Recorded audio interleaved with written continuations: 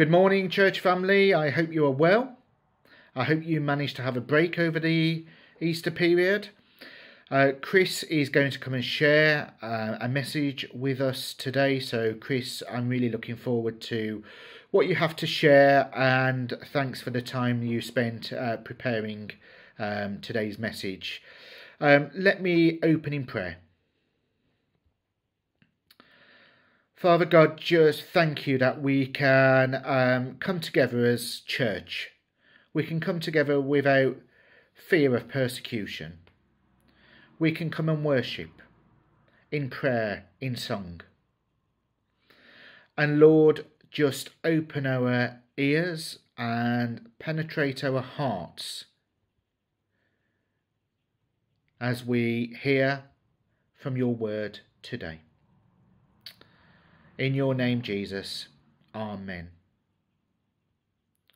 So I don't believe it's a coincidence that I am worship coordinator this morning. I believe that God wants me to share um, a reading from the Psalms with you. Um, so, yeah, just as I share from Psalm 27, just be in a, an attitude of prayer.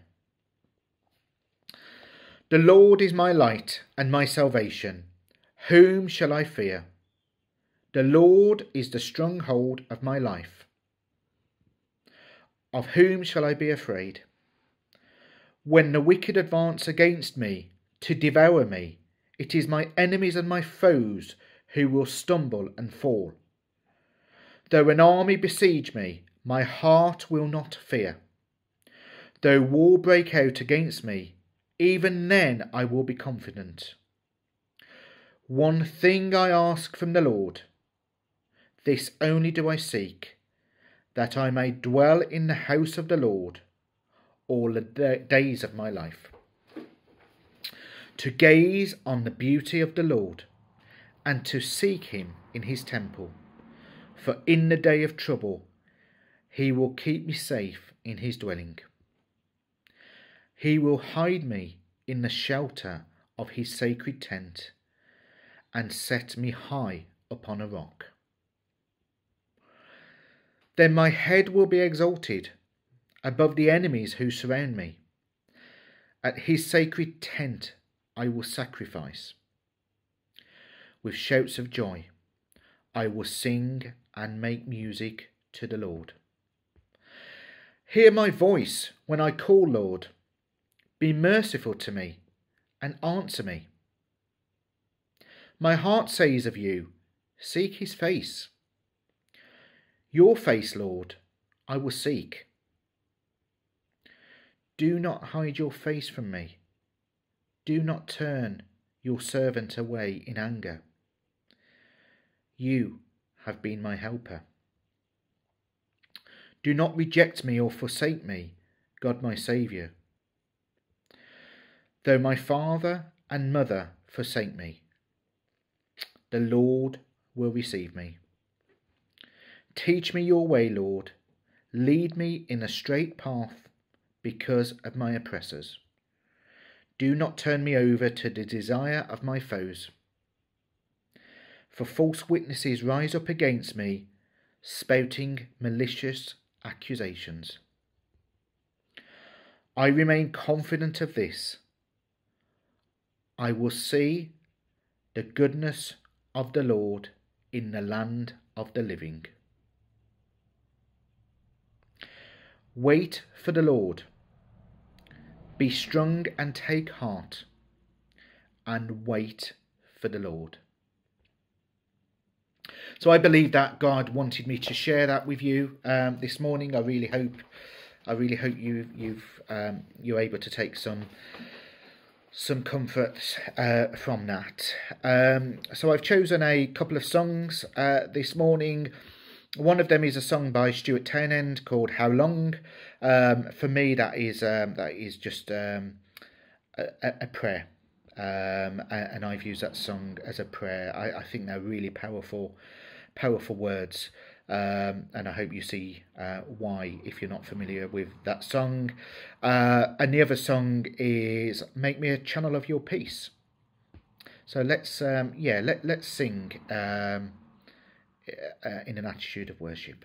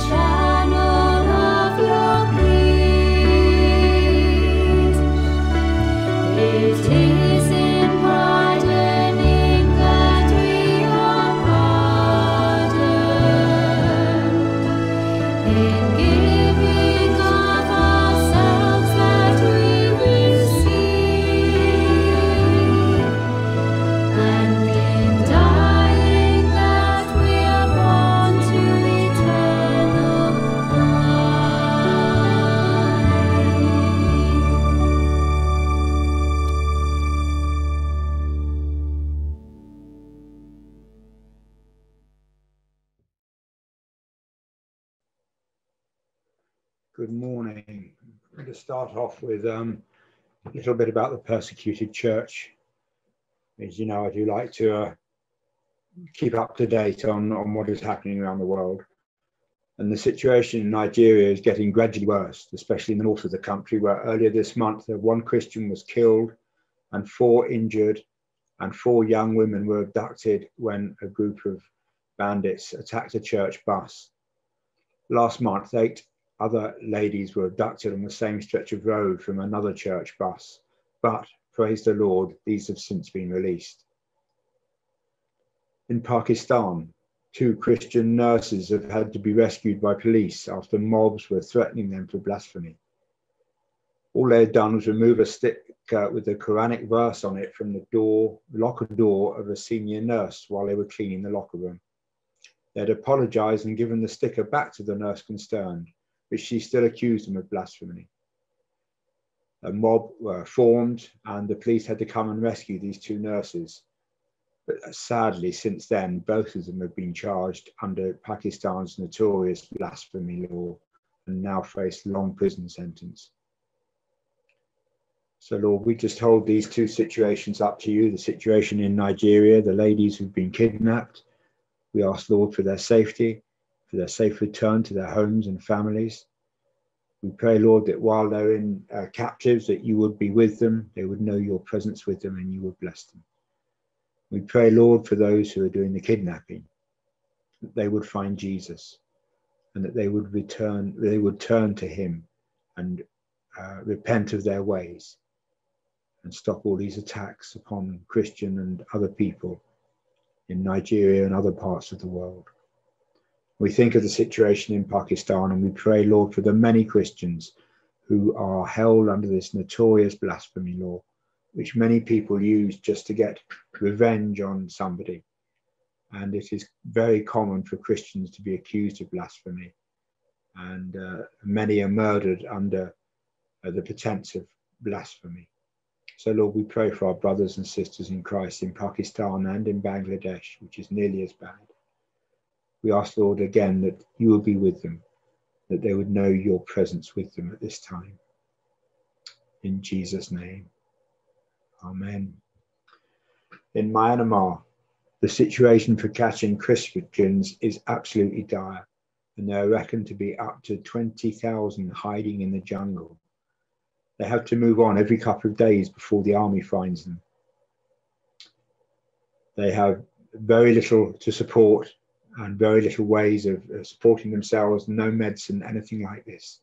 And it is a dire situation for them. The army have also started interrupting church services and searching the church buildings on the pretense of searching for leaders of the opposition movement. In fact, all they're trying to do is uh, stop church services and prevent church from taking place because they are basically a Buddhist country. So, Lord, we again pray for the situation of the Kachin Christians and the whole situation in Myanmar. Lord, you know what's happening. You know the beginning from the end. We just ask that you would strengthen and bless those who are persecuted. That, Lord, those who need aid will be able to find aid, and those who are wanting to deliver aid will be able to, to deliver it and get it through to the people. So we hold up the people of Myanmar to you at this time. And we pray, Lord, that the um, international situation and the governments will take action against the military leaders in Myanmar. So, Lord, all this we give to you, to your praise and glory. Amen. And very good news from Iran. I'd like to just read a couple of uh, extracts from a letter I've just received from Elam Ministries. It starts off to say that recently Fatima visited friends who were participating in one of our online women's conferences. As a teacher of the Quran, Fatima was unfamiliar with what was being taught. Something about what she overheard struck her. Soon after, she wrote to us, I have never heard such wonderful things. There is so much blessing in what you say. The Lord, we just pray that she would uh, go further and that she would become a Christian, giving her life to you. And then uh, there's a, a lady or, uh, by the name of Samira, who had shared the gospel with her family many times with no response. She felt discouraged that her loved ones had heard but had not believed. One day, Samira's sister, Anahita, became very sick. It softened Anahita's heart, and she gave her life to the Lord. Soon after, Anahita had a dream where Jesus said to her, Your faith has made you well. She woke up, and in time she was healed. When the rest of the family heard that Anahita had been healed, they called Samira, who led them all in the prayer of salvation together. It's wonderful to hear of how the Lord is working in places like Iran and how the, the church is growing there.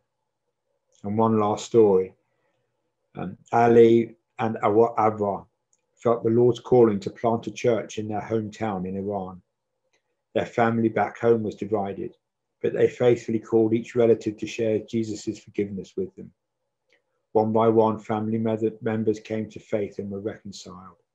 Others heard and within a few months, Ali and Agar had established two house churches.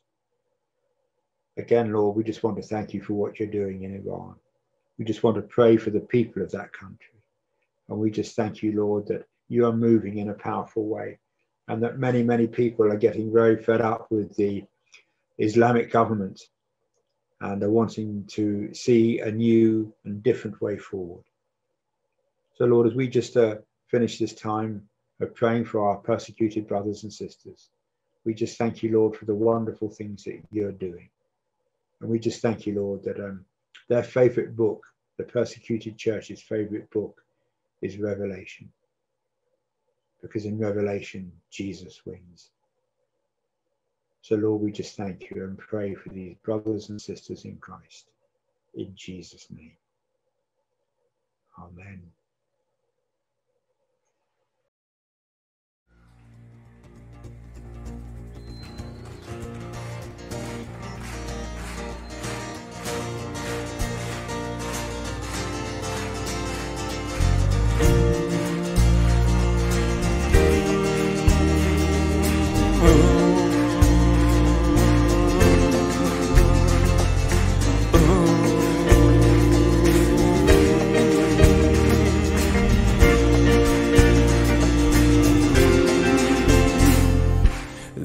Are the days of Elijah, declaring the word of the Lord.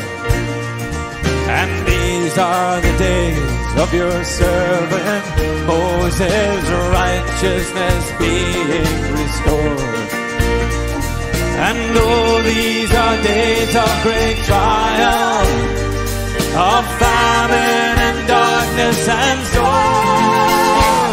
Still we are the voice in the desert, crying, Prepare ye the way of the Lord. Behold, he comes, riding on the clouds, shining like the sun. At the trumpet call, lift your voice, the year of Jubilee, and out of Zion till salvation comes.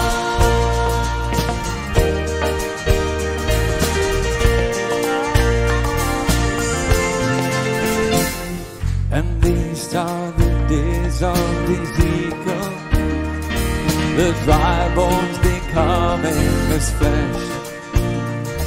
And these are the days of your servant David rebuilding a temple of praise. Oh, these are the days of the harvest, for the fields are as wide in your world, and we are the vineyard, declaring the word of the Lord. Behold, he comes, riding on the clouds, shining like the sun. At the trumpet call, lift your voice, the year of Jubilee, and out of Zion till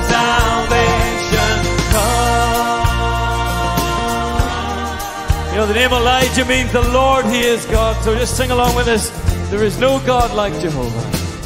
There is no God like Jehovah. There is no God like Jehovah. There is no God like Jehovah. There is no God like Jehovah. There is no God like Jehovah. There is no God like Jehovah. There is no God like Jehovah. There is no God like Jehovah. There is no God like Jehovah. There is no God like Jehovah. There is no God like Jehovah. There is no God like Jehovah. There is no God like Jehovah. There is no God like Jehovah.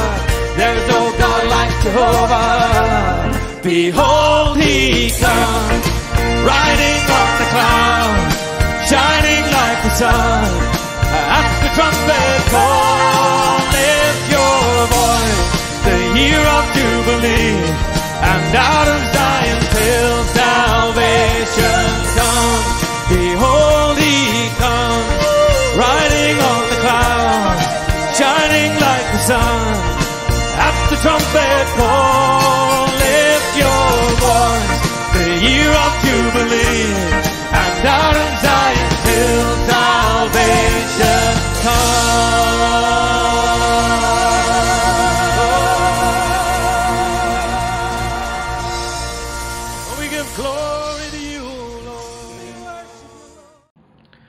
So before Sharon comes and shares the reading with us, and before Chris comes and shares the message, let me lead us in prayer. Father God, we uh, we just know there is so much need in the world, so many people struggling. Lord, we pray for the persecuted church. We pray for our brothers and sisters under attack.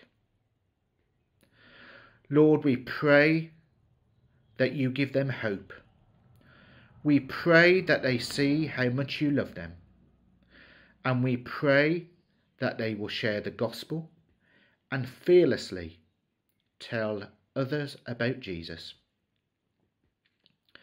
Lord, we remember the royal family on the passing of Prince Philip.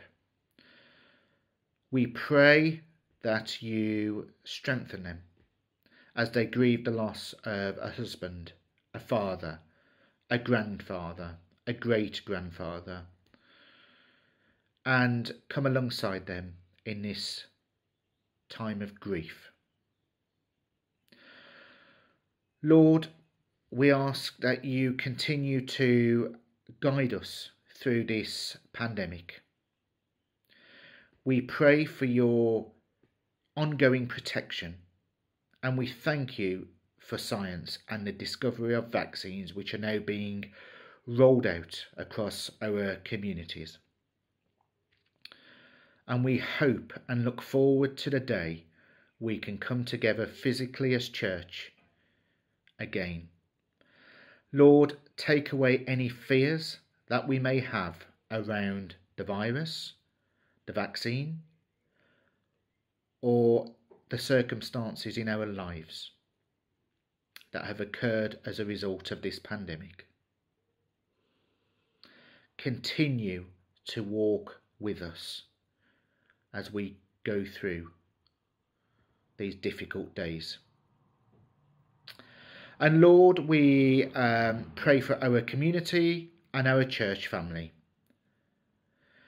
Make us attentive to the needs of others, whether physical, emotional, mental, spiritual, financial. Speak to us about the needs of our brothers and sisters and our community. Lord, uh, we lift these prayers up to you now. In the name of Jesus. Amen. Good morning. Today our reading comes from Luke chapter 15, verses 11 to 32, the parable of the lost son. Jesus continued There was a man who had two sons. The younger one said to his father, Father, give me my share of the estate. So he divided his property between them. Not long after that, the younger son got together all he had, set off for a distant country, and there squandered his wealth in wild living. After he had spent everything, There was a severe famine in that whole country, and he began to be in need. So he went and hired himself out to a citizen of that country, who sent him to his fields to feed pigs. He longed to fill his stomach with the pods that the pigs were eating, but no one gave him anything. When he came to his senses, he said, How many of my father's hired men have food to spare, and here I am starving to death? I will set out and go back to my father and say to him, Father, I have sinned against heaven and against you. I am no longer worthy to be called your son. Make me like one of your hired men. So he got up and went to his father. But while he was still a long way off, his father saw him and was filled with compassion for him. He ran to his son, threw his arms around him, and kissed him. The son said to him, Father, I have sinned against heaven and against you. I am no longer worthy to be called your son. But the father said to his servants, Quick, bring the best robe and put it on him. Put a ring on his finger and sandals on his feet. Bring the fattened calf and kill it. Let's have a feast and celebrate. For this son of mine was dead and is alive again. He was lost and is found. So they began to celebrate. Meanwhile, the older son was in the field. When he came near the house, he heard music and dancing. So he called one of the servants and asked him what was going on. Your brother has come home, he replied, and your father has killed the fattened calf because he has him back safe and sound. The older brother became angry and refused to go in. So his father went out and pleaded with him. But he answered his father, Look, all these years I've been slaving for you and never disobeyed your orders. Yet no one gave me even a young goat so I could celebrate with my friends. But when this son of yours, who has squandered your property with prostitutes, comes home, you kill the fattened calf for him. My son, the father said, you are always with me, and everything I have is yours.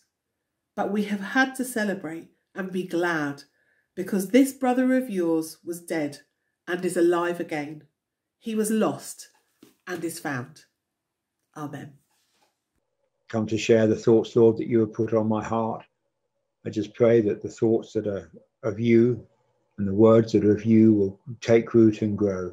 And anything, Lord, that is of me will just disappear into the ether and go nowhere. So, Lord, may this time just be a blessing to you, Lord. And may you bless, Lord, those who are hearing it. In Jesus' name. Amen. I thought today we'd have a look at a well known Bible passage, but not quite from the same angle as it's normally looked at. Our emphasis will not be on the lost son, on the elder brother. Saying that, there is one striking point about the reaction of the father in the story that we in the Western world of today might not appreciate. In that part of the world, then, and in, still in some places today, men of position or authority do not run anywhere. It's simply too undignified. Yet in verse 20, we see that he ran to his son and he threw his arms around him. Again, in that region, it was very undignified for men to show such emotion, let alone the fact that his son would have quite probably been very smelly. In fact, he'd have probably smelt quite high. This all points to how far our Heavenly Father will reach out for the lost. Reach out in the form of Jesus, who, to quote from Hillsong, from heaven came running from a throne of endless glory to a cradle in the dirt. If he is prepared to go to such lengths for the lost, shouldn't we? Good little thought to think on, something that I need to reflect on myself. So, the main character we're going to look at today is the elder brother. How many of us, I wonder, find it easy to identify with the younger brother? After all, a lot of us have squandered what God gave us, but now come back to Him, and He has welcomed us with open arms. So, it's quite easy to um, associate and identify ourselves with the younger brother. Actually, we are the older brother. Jesus at that time was referring to the Pharisees as the older brother, which today equates to us in the church. So let's look first at what that means for the church. Somebody once said that new Christians are like little babies, smelly and dirty at one end, noisy and dirty at the other end. So, when a new or immature Christian walks through our doors, we should be like the father in the story, embracing and kissing them on both cheeks, having a party for them, nurturing them and discipling them, which may not only involve answering some tricky questions, but quite possibly means examining our own thoughts, actions, or traditions. Now, while I personally think that Hele Lane Chapel is quite good at doing this, that doesn't mean that we can sit back on our haunches and be complacent about it. As culture, society, and seasons change, we may well need to adjust the way we present the gospel and disciple people. Let me make it clear the message has not changed one iota. Just possibly the way we present it needs to change. And just as an aside, on Saturday, the 15th of May, Premier Christian Radio are hosting a live online seminar entitled Unbelievable. Its subject, How to Tell the Greatest Story Ever Told.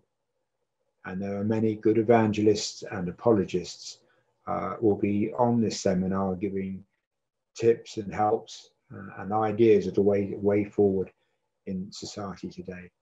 You can find details for this seminar online. However, that was an aside. What we need to be very careful about is not to become like the elder brother, which sadly some churches are. He refused to even try and forgive his brother. All he could see was the injustice in his younger brother's actions when, in asking for his share of the estate, he had not only weakened the financial position of the estate, but, in no uncertain terms, implied that he wished his father was dead so he could have his share. In verse 21, we see that even though the younger brother had repented, the older one had allowed bitterness to kill any love or compassion for his brother. Now, I'm actually going through a season of forgiving or having to learn to forgive at the moment. And I, I've always known that forgiving isn't just a case of being like a little child. I'm saying I'm sorry and going off and doing it again or forgetting about it. Forgiving, truly forgiving, is difficult.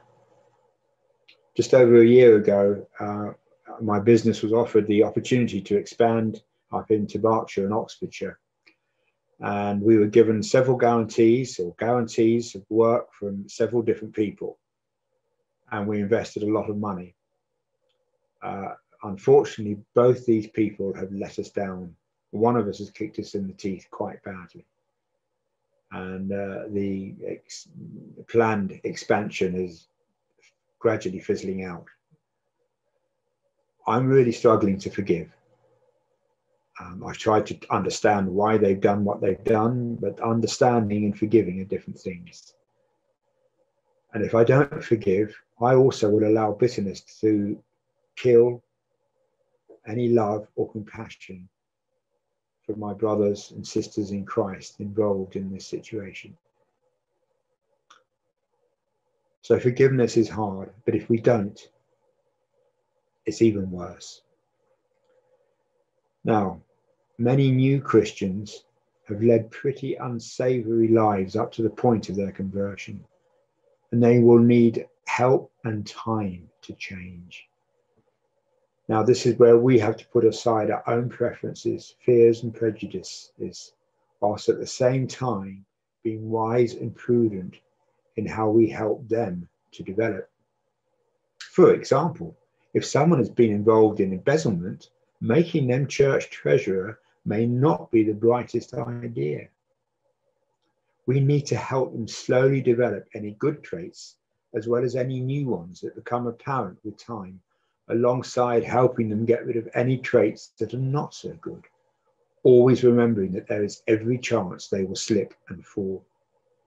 If they do, we have to be there to lovingly and compassionately help them get back up and carry on with their journey.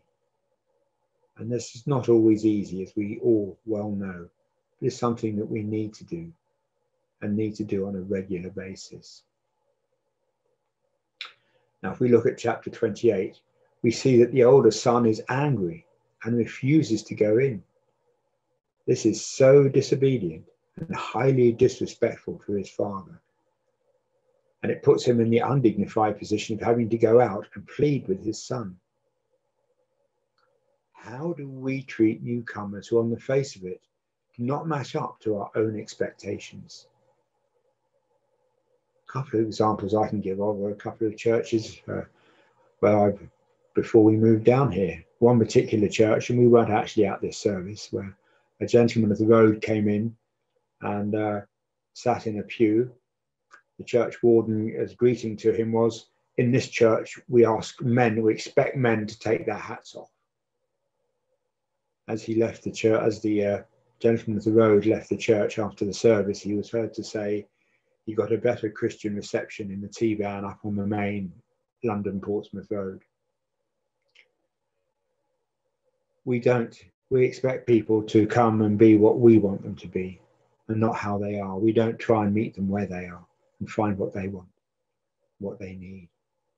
Another example is at a different church, and I was at this one, and um, this particular church was a, a typical Anglican church building, and they had no facilities, so they met for coffee after every service in the village hall, which was on the other side of the road. So after this service, everybody left, and outside, sitting on a bench, was another gentleman of the road. Everybody walked past him, but I felt that I should try and just do something. So I stopped and I chatted to him briefly, and I said, "Would you ask me if he'd like to come over for a cup of tea or coffee?" But he declined. But he said he would love one if I wouldn't mind bringing it over to him. So I went over and got him a cup of coffee and a biscuit, and went back and started chatting to him a bit more and he told me he was on his way to Liphook, which was about 10 miles away from where we were. I don't know why he was going there, what his plans were, I don't know. But he was saying he had a problem uh, with his shoes, and I looked down and sure enough, uh, the sole was hanging off his right shoe, and it was seriously hanging off. I looked at his feet, I looked at my boots, and I had on my favourite Vokes boots, which I'd just spent rather a lot of money having resoled and reheeled. And I thought, Lord, do you want me to? Yes, I've got to. So I said to him, Look, my car's just over there. I can, you know, easily go to that without my boots on. So why don't you try my boots? And if they fit, you can have them. And uh, he very said, thought that was very kind of me. And he tried to get them on. You can imagine my relief when they didn't fit. But anyway, the point I'm making is the church tried to do something. And um, I did then offer him a lift to Liphook, but he didn't want it. He said no, he'd make his own way in his own time and he'd try and find something about his boot. And off he went. So this is how, you know, we should welcome these people and find out where they are and if or how we can help them. Again, this is fairly obvious, but it's not always convenient and it's not always pleasant in verse 31, we see the father's response My son, you are always with me, and everything I have is yours. Now let's let these words sink in. Everything I have is yours. This is what God is promising us, and it's available to us now. How amazing is that? How we approach this may well be based on how our earthly father dealt with us. Now, my father ran a retail dairy and I worked for him for many years. And just after we got married, Penny and I got married, my father retired and I took the business over. My father came up virtually every day, certainly four or five days a week and he was incredibly short sighted. So he would walk into the office and I would be doing office work as one does or whatever it might be. And he'd start picking bits of paper up and he had to sort of look at everything like this to be able to read it. And he'd put it down somewhere else. But he'd answer the telephone and, uh, oh, and he'd promise things that I maybe have sort of sorted out and all sorts of things like this. And it used to drive me mad. But you know, it was my father's only interest. He had nothing else than his work. But he was not only interested, he was also wanting to guide, to give me the wisdom of his 40 odd years in the retail dairy industry. And of course, I was just a young whippersnapper who thought he knew it all. And you know, God is like that with us. He's not only interested in what we're doing, but he wants to be our guide. 2 Corinthians 1:20 tells us all God's promises are yes in Christ. As we look at the world around us, how hard it can seem to believe that. But all of God's promises are yes in Christ. Isn't that exciting? Isn't that amazing? And as I look out on this glorious day at the beauty of his creation around me, I just marvel at how great a God we have. But you know, Proverbs 29, verse 25, also gives us a clue as to why we might find it hard to sometimes claim these promises. He said, Fear of man is a great snare.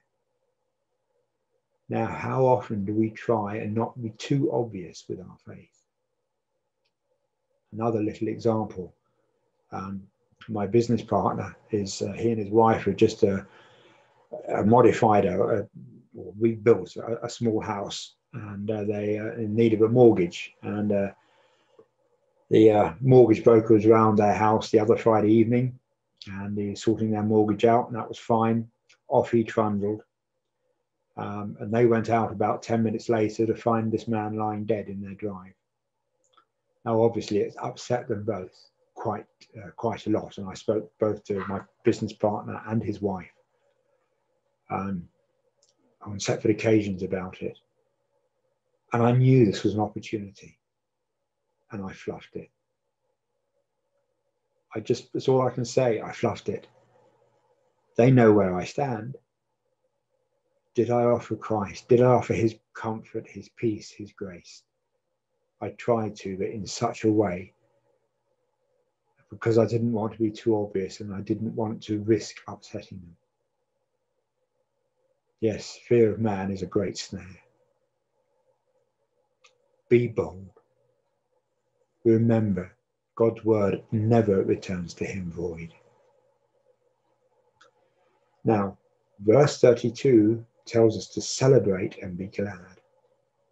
The elder son had every opportunity to celebrate his comfortable and honored position with his friends, but he didn't take it, possibly because he thought his father wouldn't approve. As a church, how often do we truly celebrate our Father, our Heavenly Father, and the inheritance that is ours? I'm not talking about a weekly religious service. I'm talking about putting church matters to one side and really having a party, celebrating who and what our Heavenly Father is you know, sometimes at prayer meetings, I say to, let's start this meeting off by just praising God. And I might start the prayer off and I might praise Him for a few minutes. And I suddenly find myself throwing that little question in Oh Lord, could you do this? Oh Lord, could you do that? Why is it so difficult just to praise God? Some years back, Penny and I went to a New Year's Eve party at Holy Trinity Brompton in London and we got there about nine o'clock and for three hours we basically just worshipped god. Yes there was some prayer giving thanks for what had happened in the past year. And yes there was some prayer asking for things to happen in the new year. But it was a party just celebrating god and it was wonderful. And i suppose the other time i've really seen this is at gatherings and meetings or services at the end of mission when again we're just praising God. We're just thanking Him for what's happened that week. We're just thanking Him for lives changed, for people saved, for people who are coming through to salvation. It is just so wonderful to have these prayer and praise meetings and just nothing else. Just praise God. It's such a wonderful thing. We don't do it often enough, in my mind, anyway. So, to, coming towards the end, how do we view God? Do we view him as a harsh taskmaster or a God who is waiting for us to come to him to bless us with his presence and grace? Like me, many new Christians, the devil has convinced that God is a harsh taskmaster. And it has taken me years, and on occasion it is still taking years, for me to really see my Heavenly Father for who He is. Somebody who wants to pour out His abundance, His grace, His love. He wants me to claim my inheritance. He wants each of us to claim our inheritance now in preparation for when Jesus comes back and we will be part of running the new heaven and the new earth. How do you see our Heavenly Father? I'd like to finish now with a quote by Kate Waterman about the prodigal son that I recently read. It says this This parable confronts us over our concept of God. Do we believe in a God who is disposed to bless his children abundantly, or one who gives us just enough to get by? I know how I want to believe in God. I want to believe in Him. And I'm sure nearly all of you want to believe in Him. No, in fact, I'm sure all of you want to believe in Him as somebody who is disposed to bless His children abundantly. Amen.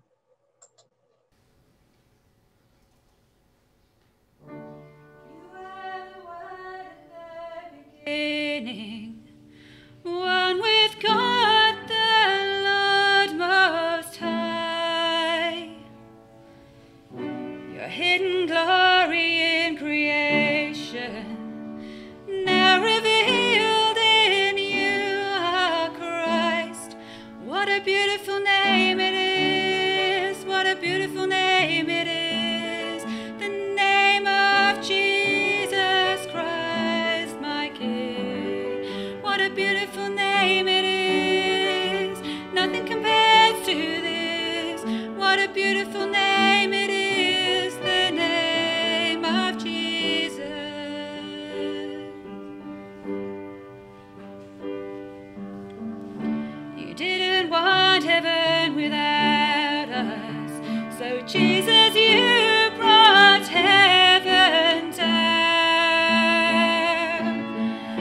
My sin was great, your love was greater.